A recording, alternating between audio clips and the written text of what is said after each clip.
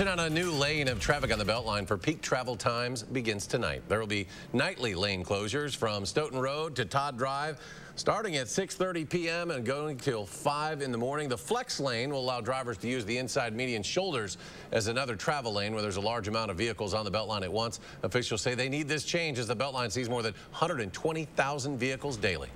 As we look toward long-term solutions for the Beltline and certainly surrounding highways throughout Dane County, but making sure that we take that time to address it now.